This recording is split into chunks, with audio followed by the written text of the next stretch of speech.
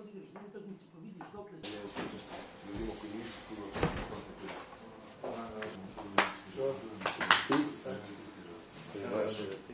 Da ih bi povuče vira.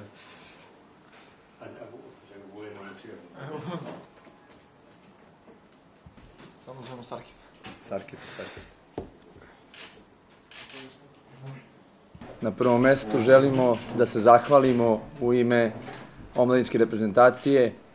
na podršci koju smo dobili od svih vas, od javnosti i na propraćenosti koju je imala naša, naše učešće na Evropskom prvenstvu. Za nas je stvarno od velikog značaja bilo da, da smo se osetili važnim, da smo e, osetili podršku našeg naroda, naših ljudi i naravno naše štampe i naših medija,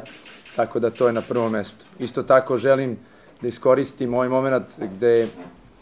dajem zahvalnost e, svima, e,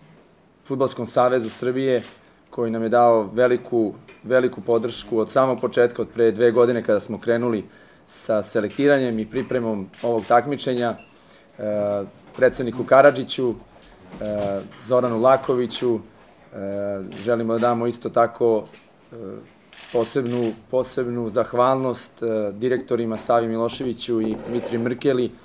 na svemu onome što su nam pomogli tokom ove dve godine, a i samim, e, samom podrškom koju su nam davali neposredno na, na samom evropskom prvenstvu i na svim takmičenjima kojima smo se nalazili. Isto tako želim da da se zahvalim e, ljudima u sportskom centru u Staroj Pazovi, bez čije pomoći, podrške, usluga, isto tako sve ovo ne bi bilo, ne bi bilo moguće, a to je, ja mislim, na kraju, kada sve sagledamo zajedno, mislim da je najvažnije timski rad u svim sferama, jedne institucije kao što je Futbolski savez i mislim da je to na kraju i prošle godine i ove godine e, bilo pre, e, prevashodno bilo odlučujuće u stvaranju svih, u stvari u ostvarivanju svih ciljeva i rezultata. Mi smo zadovoljni sa postignutim na Evropskom prvenstvu, zadovoljni smo sa onim što smo prikazali, kako smo prikazali, kako smo igrali, kakav je odnos bio i utisak e, koji, konačan utisak koji smo dali. E, svakako da je za nas bilo e, veliki imperativ da odbranimo titul od prošle godine i da smo se trudili maksimalno i dali sve do nas i na kraju ostali ne, nepobeđeni jednostavno, a pritom pokazali utakmicama sa velikim ekipama kao što su Nemačka i Portugalija, da smo ravnopravan e, protivnik, to i statistički podaci pokazuju e, e, na UEFA-inom sajtu možemo jako dobro da vidimo da, se, da Srbija nikada nije bila inferiorna ni na jednoj utakmici protiv nijednog rivala i da smo naravno uvek išli na pobedu s tim što protiv takvih ekipa naravno isto treba se dobro i defanzivno pripremiti. Zadovoljni smo, kažem, i na prvom mestu ostvarivanjem našeg prvog cilja, a to je, sećate se, pre desetak dana smo ovde zajedno bili i govorili smo o tome, a to je e, plasma na svetsko prvenstvo po prvi put u istoriji u našoj novoj državi i po prvi put od one legendarne generacije Čileanaca od 1987. godine. Tako da, kada sve to saberemo i onaj utisak koji smo zajedno svi imali, Uh, sve ono što smo proživeli, poteškoće koje, su, je imala naša omladinska reprezentacija usled uh, toga što ovo nije, kao što svi znate, FIFA termin gde su igrači uh, obavezni da dođu, odnosno su klubovi obavezni da puste svoje igrače na ovo takmičenje usled svih povreda i kartona koji su nam se dešavali u samom takmičenju. Mislim da je naša reprezentacija, naša omladinska reprezentacija pokazala jedan, jedno veliko srce, jedno veliki, jedan jak mentalitet, ono što jednostavno težimo, a pored svega toga i kvalitet futbalski, individualni, da imamo momke koji su uh, praktično bila zastupljena tri uh, godišta, 1995, 96 i 97, uh, tri selekcije u kojima su radili mnogi selektori, mnogi instruktori kojima isto želimo da se zahvalimo. Pritom ću napomenuti Nenada Sakića, od koga sam ja preuzeo ovu, godište 9-5, koji je izvršio kadetsku, u kadetskoj dakle, selekciji uzrastu izvršio selekciju, Milanu Lešnjaku koji je doprineo sa igračima iz godišta 9-6 i Banetu Nikoliću sa igračima iz 9-7. Tako da opet se vraćam na ono što sam na početku govorio, timski jedan rad, uspešnost selektiranja i instruktorskog rada u pređašnjim ovaj, godištima mislim da je, da je ključ svega i ono što je najvažnije da smo na dobrom putu i da naša reprezentacija, u stvari A reprezentacija, ono za što svi mi radimo ovde, naš prvi i osnovni cilj e, omladinske reprezentacije, to je pripremanje i stvaranje A reprezentativaca, mislim da smo na dobrom putu i po tom pitanju. Evo, upravo imamo ovde plan, u stvari ono što nas očekuje na svetskom prvenstvu, e, utakmice gde se igraju, čeka se žreb, žreb je u januaru naravno, ali prethodno već se zna otprilike e,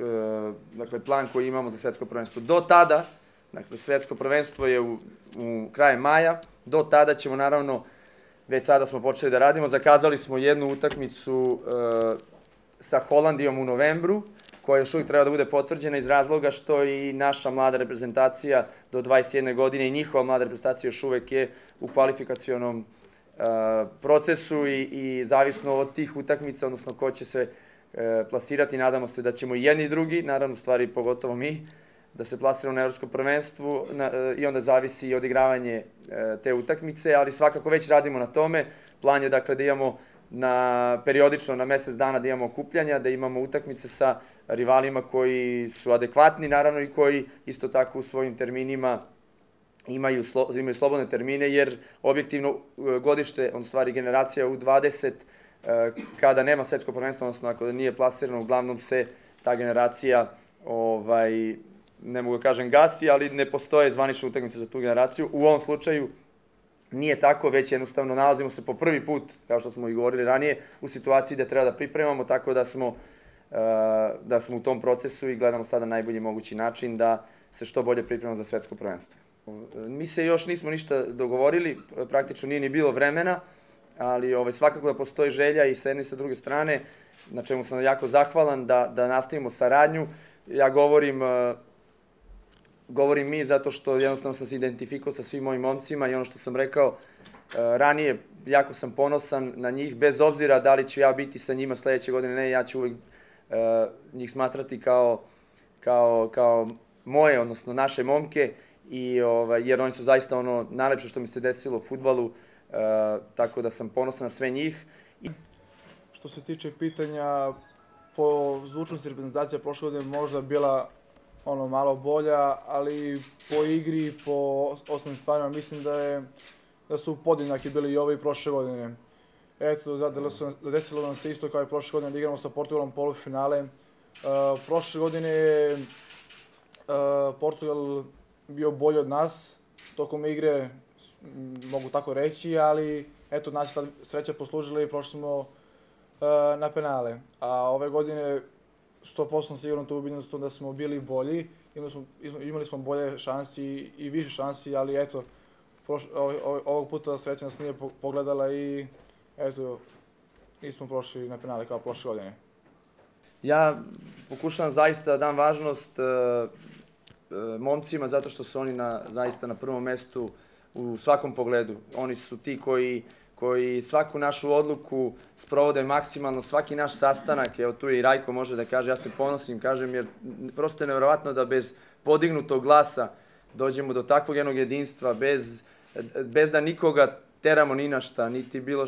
bilo kakav pritisak da se vrši, uh,